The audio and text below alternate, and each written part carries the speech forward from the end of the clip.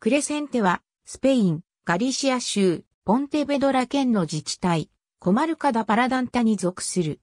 スペイン国立統計局によると、2010年の人口は2540人。住民故障は男女同系のクレセンテインス。カスティーリャ語による表記はクレイスイエンテ。ガリシア語話者の自治体住民に占める割合は98.32%。クレセンテはポンテベドラ県の南東部に位置し、コマルカダパラダンタに属する。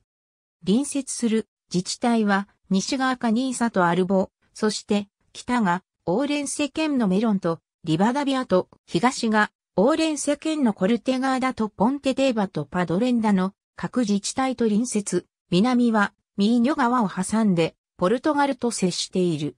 自治体の中心地区はクレセンテ教区のクレセンテ地区。隣接自治体、アルボトの境界地域の山中でペトログリフが発見されている。鉄器時代のカストロ文化の遺構としては、キンテーラ教区のシダのカストロが残されており、発見された遺物は現在ポンテベドラの県立博物館とビーゴの私立、キニョーネスでレオン博物館で見ることができる。古代にはこの地域は、トゥロニオ地域に属していた。カスティーリャレオン王フェルナンド4世によって、フェルナンド・イアニエスにクレセンテの領主権が授与され、1642年には、スペイン王フェリペ4世によって、バルタサールでソトマジョールにクレセンテ伯領が与えられた。フォルネーロス城はポルトガルの独立をめぐって、カスティーリャ王アルフォンソ7世と初代ポルトガル王アフォンソ1世の間で戦われた戦いに起源を持つ。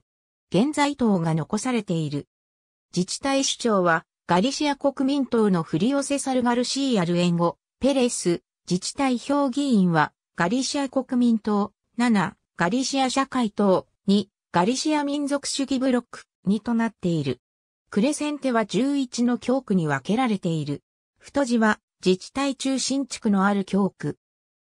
ネーラ、カルロス、エイブルーシャンのウソトゥゴリーゴポルカンチェローズ、プロザプブリカ、HTTP、プロザ、ガル、リクターソ、1263、エボルシオンのウソトゥーゴリーゴポルカンチェローズ、AB、ディースヤナージーグラフコエレストロドで、ガリツヤボリューム9、P138 から140、ジゲルプブラケーションス、2009、ISBN 978から8461358199、パブロス・ヨネスデエチョデスで1900アスタ1991、シフレス・オフィシアルズデロース・センソス・リスペクティボース、シフレス・オフィシアルズデパブレーシアン・リ・ザルトンツゲラ、レビチオン・デル・パドロン・ミューニセプルエイチデエネロ。ありがとうございます。